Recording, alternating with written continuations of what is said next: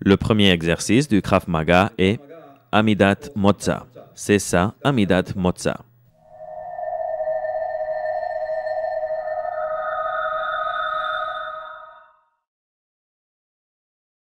Nous ne pouvons rien faire en Krav Maga sans Amidat Motza. On ne peut rien faire non plus en Krav Maga si on ne sait pas comment frapper. Imi fut boxeur et créateur du Krav Maga.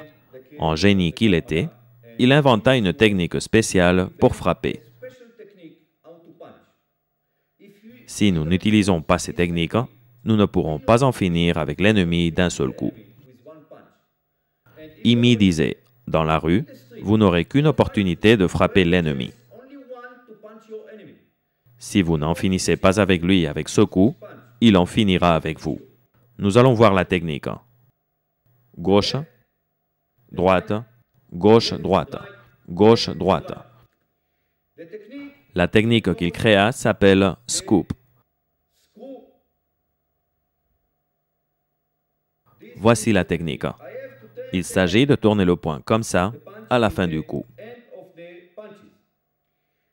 La majorité des gens ne le savent pas et lèvent les coudes en frappant. Quand vous levez les coudes, vous perdez de la force dans le coup.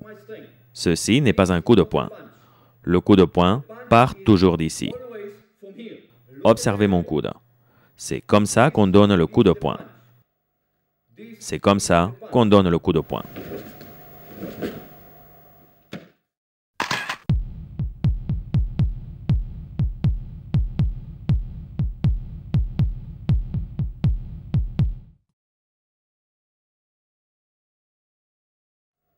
Imi a inclus dans le Krav Maga 78 coups de pied différents.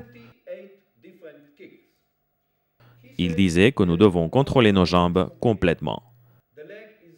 Les jambes sont beaucoup plus longues et beaucoup plus fortes que les bras. Si je donne un coup de poing à quelqu'un, il se peut qu'il tombe par terre. Mais si je lui donne un bon coup de pied, il tombera sûrement. Nous allons maintenant voir certains des coups de pied de base du Krav Maga. Tous les coups de pied du Krav Maga ont quatre mouvements. 1, 2, 3, 4.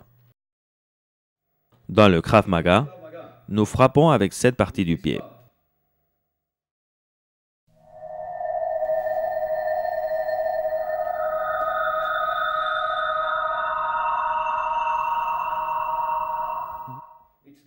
qui est la partie la plus forte du pied.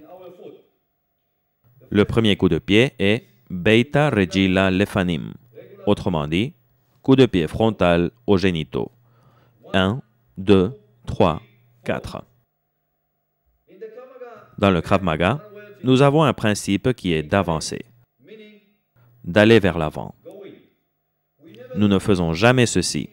Si nous faisons ça, toute notre force va vers l'arrière nous n'aurons pas suffisamment de force pour frapper sur les parties génitales.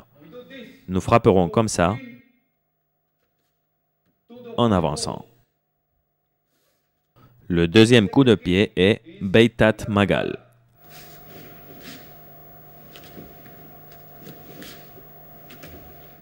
C'est le coup de pied circulaire.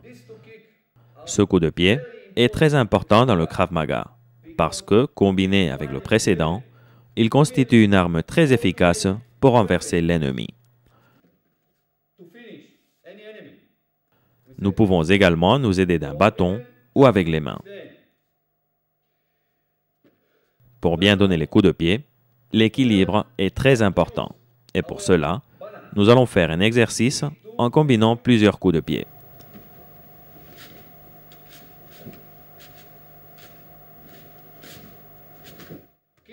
Le but de tout cela, c'est d'arriver à devenir un guerrier, un véritable pratiquant d'art martial. Tout le monde peut faire les techniques, mais les faire en contrôlant les pieds, les mains et le reste du corps, ça, c'est le vrai Krav.